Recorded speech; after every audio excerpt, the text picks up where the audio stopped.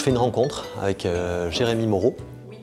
Et quand le, Sophie Touré du salon m'avait proposé de faire quelque chose, de faire une rencontre, il se trouve, elle m'a demandé quels auteurs je connaissais présents lors du festival. Et j'avais eu donc le plaisir de croiser Jérémy à quelques reprises. Et à chaque fois qu'on se voyait, on parlait d'illustrateurs qu'on aimait bien tous les deux, euh, notamment de Quentin Blake, puis de, Ronald Searle, qui avait une grande influence pour lui sur sa, bande dessinée, euh, sur le singe, euh, le singe de, comment Dartpool.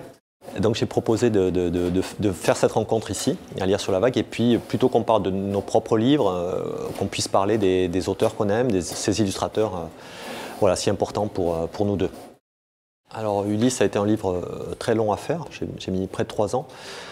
Euh, j'avais envie d'explorer cette histoire-là, qui, euh, qui était si importante pour moi.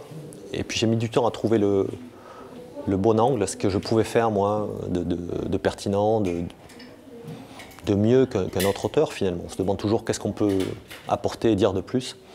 Et euh, à cause de ma formation, à cause de mon intérêt pour la philosophie aussi, j'avais envie de mêler, comme dans un docu-fiction, comme dans un mélange d'essais et, d'épopées, de mêler à la fois le commentaire et, l'aventure du retour d'Ulysse. Donc Actes Sud m'a suivi pour, pour cette, euh, cette idée-là, ce projet-là. Et euh, tout le, la difficulté, c'était d'arriver à équilibrer ça, à équilibrer le, récit, les chapitres qui, qui, évoquent Ulysse et son retour, et même graphiquement, quelles influences trouver, sur quoi s'appuyer, et puis d'autres chapitres qui, euh, parlent de, la, survivance en quelque sorte de, ce mythe-là, de la signification de ce mythe-là, pour nous, pour, euh, pour les grands spécialistes du monde grec, pour des anonymes, pour les habitants de l'île d'Ithaque telle qu'elle perdure aujourd'hui, puisque, puisque j'ai pu euh, résider sur l'île pendant, pendant quelques mois. donc c'était un projet très important pour moi. Long, long à, produire, et puis euh, donc j'étais effectivement rassuré du succès que le livre a eu. Alors il a eu euh, le prix qui s'appelle maintenant le prix Wolinski, qui m'a été remis par Wolinski, c'était organisé par le, magazine du Point, euh, le prix du Point. Et puis euh, récemment j'ai eu le, prix des rendez-vous de l'histoire de Blois pour la meilleure BD historique de, l'année dernière.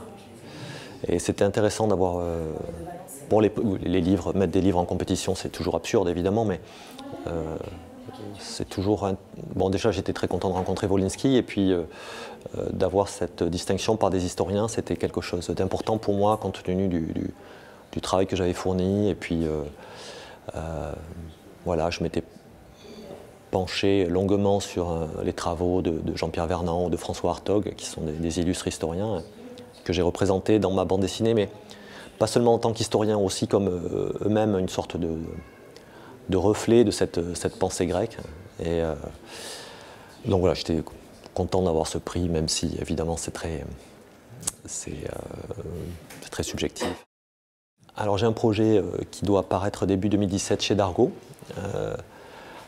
J'ai tendance à faire des livres assez différents les uns des autres et là peut-être pour m'alléger suite au poids d'Homère et de l'Odyssée, je, fais un projet oui, plus léger, sur une sorte de comédie d'espionnage euh, qui se passe en, 1944 à Londres, où là aussi je, m'appuie sur des illustrateurs euh, britanniques, des illustrateurs anglais que j'aime bien. Et ça parle d'un épisode réel, mais que, je romance, euh, un épisode qui, concerne les services secrets britanniques, et puis des comédiens qui étaient, qui étaient dans l'armée à ce moment-là, David Niven et Peter Ustinov. Et bon, j'essaye de faire planer l'ombre de, de, Lubitsch et de Billy Wilder dans, cette bande dessinée-là, ce qui n'est pas facile, mais, mais j'arrive euh, au bout.